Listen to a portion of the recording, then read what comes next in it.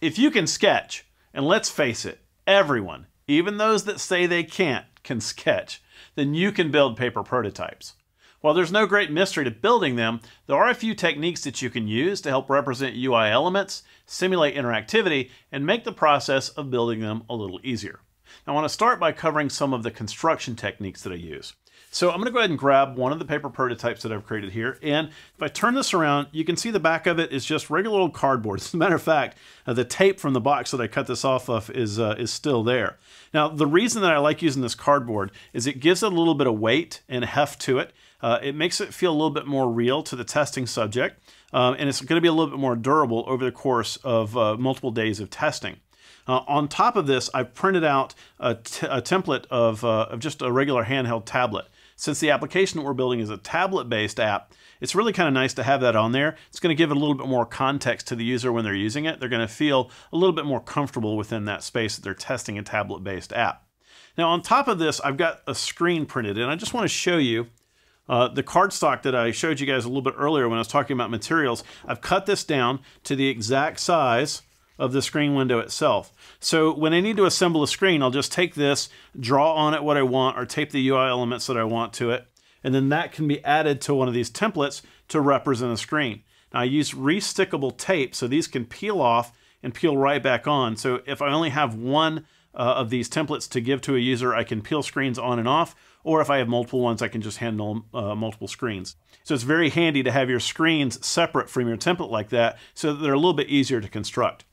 Now I mentioned the UI elements, and one of the things I want to show you guys are these sheets that I was talking about earlier. So on these sheets, I've got all these various UI elements, uh, all of them that I think I might need for a particular application. And I'll print these out and then cut each of them out individually. Now that takes a little bit of time, and frankly, if you have an intern, it's a really good job for your intern. But what I'll do is I'll print these out, cut them out, and just build a library of these UI elements. Now also, when I cut these out, I leave a little bit of paper here that I can fold for elements like buttons and radio buttons and checkboxes and things like that. Makes it easier to put uh, glue on the back of them and just makes it easier to pick them up and uh, put them on. As a matter of fact, you can see here on the login screen, you can see I've got one of those guys right there with the tab. So they're really easy to peel off this way and stick back down. So once you have, it's a little bit tedious to set this library of UI elements up, but once you, once you have it in place, you can just uh, find little organizers like this. It makes it so easy to assemble a screen. You just find the elements you need, put a little bit of glue on the back of them, and you're minutes away from having a functioning screen. So I love those.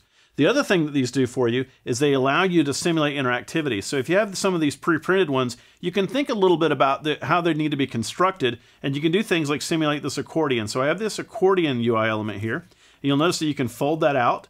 So if somebody selects that option, you can fold it out, show them what uh, the contents of that would be, and then fold it back up. And you know, it's really important to be able to simulate some type of interactivity or interactions in terms of what's happening with your application. And that's another reason why I really like this tracing paper. So you can see here, I've got a nice little overlay that I've made. And for like the login screen, if somebody were using this and they, you know, I wanted to show them what would happen if their username or password didn't match. Instead of creating a brand new screen for that, I can just draw something directly on the tracing paper, overlay it. I could attach it with a little bit of tape if I wanted to, uh, but essentially it gives them a nice feel for what's going to happen within that error state. And you know, this interactivity that I was talking about is a very important point here. These are not paper mock-ups. They're paper prototypes. And as such, they're really meant to be interacted with. Now, there are a few techniques that can help you when you're testing and evaluating your prototypes. And to help me demonstrate this, my good friend and producer Dan Weston is going to give me a hand. Hey, Dan. Hey, James. How are you? I'm doing really good. Uh, thanks for helping. Mm -hmm. All right, so the first thing I want to uh, talk about is when you're testing and evaluating your prototypes, you're going to have at least two people. So one person that's going to be the facilitator that's helping the tester walk through it, and the other person that's going to be actually testing the application the first thing that you want to do is set a few goals for them and let them know what the expectations are. In this case, Dan, we're going to be prototyping a, a new application called Meal Assist. And it's designed to help people choose things to go with whatever they're cooking that night. So if they're cooking chicken, for example, help them kind of figure out what to have with it. Now, the first thing I want to do, Dan, is just set you is just start you off where you would typically start off in the application, and that would be the login screen. So I'm just going to go ahead and give you the template. And as a facilitator, my job is to just sort of tell him what's expected of him on the screen, but not tell him exactly what to do. So this is a pretty typical login screen. I want you, uh, I want you to give it a look and tell me if there's anything missing from it or if it's uh, kind of what you would expect. Okay. Um, everything looks pretty normal except for since this is my first time using the application, there's no way to create an account. So I can't even log in. You're right. There really isn't a way for you to create an account. Okay. Well, this is one of the places where paper prototypes really shine. Because of the fact that it's paper, I can immediately make a change to that. So let me come over and I'm just going to write a quick little link here. And this is one of the things that I love about those pre-printed labels that I was talking about earlier. You can kind of create uh, just sort of pre-cut uh, little pieces of these. And then anytime you need to add something to your prototype, you can write it down and then very quickly stick that on. If you don't like the placement of it, or if you get negative feedback about it, it's really easy to change it again. What do you think, Dan? Uh, now I've got a link for creating a new account. Does that work for you? Yeah, that works great. All right, so the first thing you do is you just click Create New Account.